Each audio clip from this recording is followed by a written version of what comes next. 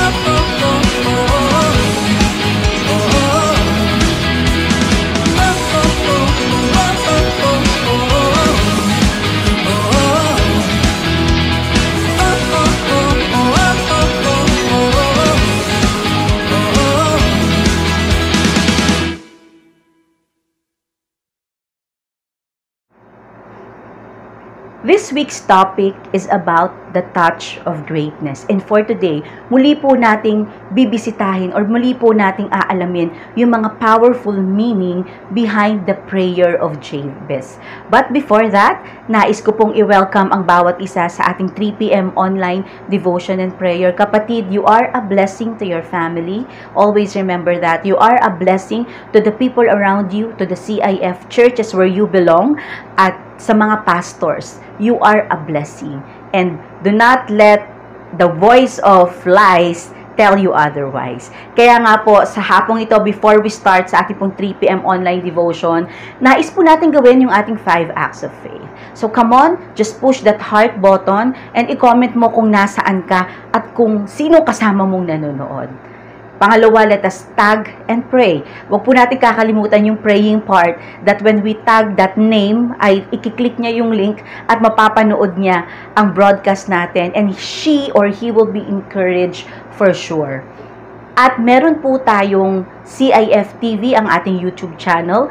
Kung hindi ka pa po nakapag-subscribe, please do subscribe. At kung nakasubscribe ka na, magpa-subscribe po tayo sa ating YouTube channel.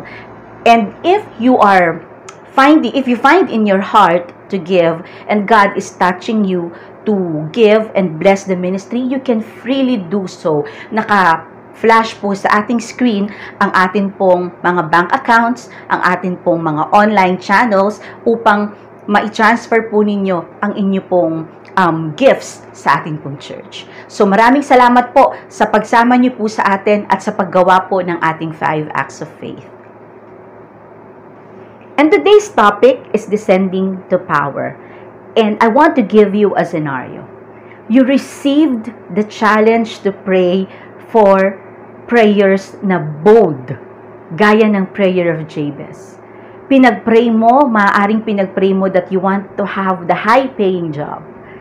You want to um, to have the loan na matagal mo nang inaplayan to get approved so that you can buy the, the house or the kotse na pinagpipray mo. Or maybe you have been praying for your um, primary 12 na makompleto or to have your own cell group finally. But, dumating yung point na na-feel mo na you are overwhelmed and parang this is too much for me. Na-experience mo na yung ba yung ganong klaseng pakiramdam? Or napunta ka na ba sa ganong klaseng sitwasyon na pinag-pray mo nung dumating na overwhelmed ka? Kung na-experience mo na yun, comment ka naman sa ating um, comment box kung na-experience mo na yon at kung ano ang ginawa ng Panginoon, ano rin ang ginawa mo upang malagpasan mo yung ganong klaseng sitwasyon. When, the, when believers find themselves in that situation, new territories, uncharted borders, 'di ba? Kasi we've, we've, we've prayed for that bold prayers eh. So, pinunta tayo ng Panginoon doon sa lugar na hindi familiar sa atin. We know it in our hearts, pero iba pag nandoon ka na, doon sa situation na ito na, yung binigay ng Panginoon, ito na yung pinagpipray natin. Very bold prayers, it's, it's um, in our very eyes. Sometimes, and at most, at most times, we feel afraid, we feel abandoned, yung feeling mo walang nagga-guide sa'yo, and sometimes a little angry na this is too much for me. At yun po yung normal na feeling when we are in that unexpected or of course you're expecting it kasi you, we've been praying for it. But yung we, we don't know eh. We, we don't know what's really in it hanggat wala pa tayo doon. Kaya tayo, nung dumating tayo doon sa, doon sa sitwasyon na binigay sa atin ng Panginoon, we feel that it's overwhelming. Hindi natin alam kung ano yung um, gagawin natin. We are overwhelmed. Um, sapat ba ako dito sa blessing na binigay ng Panginoon? And I want to to start this with a little story, with a little true story from a man na nagmi-minister. Nag, he prayed for bold prayers, nag-open ng doors for that opportunity and before his very eyes, nakita niya yung mga pinagpipray niya. However, he had this feeling in his mind, in his heart, that he is not qualified sa mga blessing ng Panginoon. So one day, he asked um, from a trusted older man na ano ba tong nararamdaman ko? Bakit ganito? Na pinagpray ko to eh. Alam ko na mangyayari to. I, I've been praying for this. I've been crying for this. And I've been expecting for this. But there is a feeling doon sa lalaking ito na parang hindi siya qualified doon sa mga blessing. And tinanong niya yung kanyang trusted old man na, na counselor. Sabi niya ganun, bakit ko to nararamdaman? Can you explain to me why am I feeling this way? At ang sagot ng counselor, to quote, that feeling you are running from is called dependence. It means you're, you're, you're walking with Jesus. And actually, the moment or that you're not feeling dependent is that when you've backed away from living by faith. So sabi nga ng lalaki, ibig sabihin, this is the feeling that I am feeling na hindi ko kayang gawin is what I am so, supposed to feel. At ang sabi ng counselor, yes. When we are blessed by God, we know how big the blessing is. Kaya nga bold prayer siya. Eh. Alam natin na malaki to. Alam natin na um, this is something that we have been praying for. Malalaking mga bagay, malalaking mga um, malalaking mga pangarap ang ibinigay ng Panginoon sa atin. But there is one thing that we should also expect that the moment na tayo ay binigyan ng mga malalaking bagay ng Panginoon, failure is guaranteed unless God steps in yung mga bold prayers natin na, binig, na binigay natin sa Panginoon during our prayer time, ito yung mga karakteristik niya. Usually, they are against our common sense. Isa po sa mga um, bold prayers na ginawa ko during during my uh, pre um, uh, sa aking sa akin pong before I I I delve into the calling is that to resign for my job and it's against the common sense of everyone. Unless sa mga uh, unless may mga taong nakakaintindi or doon sa mga taong nakakaintindi talaga that um, the calling is a higher calling. It's against the common sense. One time may may nagsabi sa akin you can still work while doing the ministry but I've been there eh nandun na ako sa sitwasyon na yon and God is asking me to do something or leading me to to somewhere na against my common sense. So, the our bold prayers, isa sa mga karakteristik niya, it, it is against our common sense. And it contradicts to our life experiences. Sometimes, yung, of course, yung mga experience natin before, hinanda naman tayo ng Panginoon doon para doon sa ating katawagan. Pero, pag nandun tayo sa mga bagong territories, uncharted territories na binigay sa atin ng Panginoon, it contradicts our life experiences or yung mga previous experiences natin. Sometimes hindi na natin nagagamit doon yung ating mga uh, yung ating mga yung ating mga experiences. Another thing is it it disregards the feelings, the trainings and the need for security. Minsan, uh, most of the time, pag tayo po ay tinawag ng ating Panginoon at binigay na yung ating mga bold prayers, yung nadidisregard na yung feelings natin. Nadidisregard yung training na dinaanan natin. Yun nga, it contradicts to our previous life experience and our need for security. Ang comfort zone natin, that's the most um, dangerous place eh. Kasi we cannot move if we are we are in our comfort zone. Kaya pag tinanggal tayo ng Panginoon sa ating comfort zone, yung security natin natithreaten we have to expect that when we know that God will give us the bold prayers. And another characteristic ng mga ng ng bold prayers na yon when when God is, is given is, is giving it to us is that it is it is it looks like a setup na magmukha tayong fool and loser. Yet, it is God's plan for us. It is God's plan to its most honored servants. When we pray the prayer of Jabez, oh that you you'd had your, your hand would be upon me, we are releasing God's power to accomplish His will and bring His glory through seeming impossibilities. Mapapansin po natin at first, no, si Jabez hindi niya pinagpray agad yon. maaring hindi pa niya kailangan yung prayer na yon. Everything is manageable.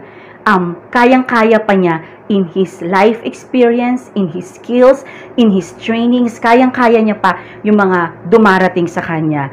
But when, this is beautiful, but when the kingdom task, kingdom-sized task has been given to us, Jabez knew, we knew, we will know, we need the hand of God. We are surrendering to God, that we cannot do it, and we know that we are calling the greatness of God to touch, to touch us. It is not, it is not um, about being us na maging great, but mama, makita yung dependence natin sa ating Panginoon and that His glory will be, will be revealed.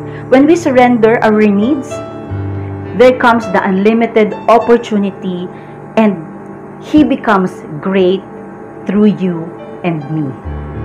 And that is one of the greatest thing na pwedeng nating ma-experience sa ating Panginoon when God's greatness has been shown, has been manifested through us. So, my question is Are you ready to pray the prayer of dependence to God, or that your hand would bless me? I invite everyone to pray. Heavenly Father, we thank you for today. We thank you, Lord God, for your goodness, for your love. Lord, make our hearts ready for that prayer Oh, that you would bless us and or that that your hand, Lord God, will be upon us. Make us ready, Lord God, for the um to be dependent to you. Make us ready, Lord, by by being surrendered to you, Lord God, completely. We are ready for the blessing that you have given unto us, for the kingdom-sized blessing, for the kingdom-sized prayers, for the kingdom-sized, Lord, provisions, Lord. Thank you, Lord, for everything that you have done to us for everything, Lord God, for the equipping. We thank you, Lord God. The waiting for these bold prayers is creating in us this feeling of this um, surrender, surrendered heart and surrendered mind. We continue to pray, Lord, for our pastors. We continue to pray for IPHC and PPHC pastors, bishops, missionaries. We thank you for their lives. Kung hindi po dahil po sa kanila pong mga buhay na inalay nila sa inyo, kung hindi po nila tinanggap ang mga kingdom-sized task or calling na binigay nila sa inyo, wala po kami dito ngayon. We thank you for their lives. We pray for the unity. We pray for the direction. We pray for the fire of the Holy Spirit to be upon them. Our G12 international leaders, Lord, continue to give them, Lord, the kingdom-sized um, ministry, Lord, that their hearts will be fully surrendered unto you as we continue to make to win souls and make disciples. We pray for our CIF pastors, we pray for Bishop Gani and Pastorates, for for all the CIF pastors, Lord. We pray for them every day. We pray for their protection. We pray for their um, provisions sa mga churches ng CIF. Thank you, Lord, for giving us, Lord God, a surrendered heart that yes, we are ready for your hand to, to be upon us and th- that we are ready to surrender everything our our secure our the need for security our um, common sense lord. We surrender it all to you and we receive the supernatural um, provisions sa mga churches Lord sa mga um, sa mga prayers po namin sa mga um, mga bagong transition sa mga bagong season ng bawat churches ng bawat mga pastors Lord. Marami pong salamat Panginoon dahil binibigyan niyo po kami ng puso na talagang nakalok talagang um, fully surrendered sa iyo Lord. Yun po yung kailangan namin so that we are ready for the blessing We pray for your provision sa mga CIF churches. We pray, Lord God, sa patuloy mo pong pagkilos sa mga may sakit sa mga oras na to in the name of Jesus. We pray for them. We pray for Pastora Diana. We pray for um, Brother Nemesio. We pray, Lord God, sa mga kapatid po namin na nagtatype ng names right now in the name of Jesus. We pray for healing for them, Lord God. We pray for uh, Sister Eileen, Lord. We pray, Lord God, sa mga merong karamdaman sa mga oras na to, sipon, ubo, whatever it is, we apply the blood of Jesus. And thank you, Lord, we receive the healing, Lord. We pray for the Philippines. Thank you, Lord God, because Philippines is in your hands.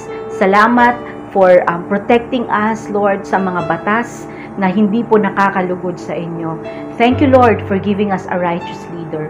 Thank you, Lord God, for the wisdom, Lord God, to choose. Thank you, Lord God, dahil pagpapalain mo ang bansang Pilipinas. We also pray, Lord God, for um for for uh, for Israel, Lord God. Ang bayang ito, Lord God, ay inyo pong pinagpapala. Ang bayang ito ay inyo pong pinuprotektahan. Ang bayang ito, Lord God, ay inyo pong pinili, Panginoon. Marami pong salamat sa hapong ito. Salamat, Lord God, that we can come to you with confidence, with boldness, with prayer, that may your, your hands be upon us, Lord. Lord, we just bring back to you all the glory and all the honor and all the praise. In Jesus' name, amen and amen and amen. Magandang hapon po muli sa bawat isa. Ito po si Pastora Angel Gang, kasama po ng aking asawa ni Pastor Mark na naglilingkod mula po sa CIF, Irigat sa CIF Balatan. Pagpalain po kayo ng ating Panginoon. God bless you po.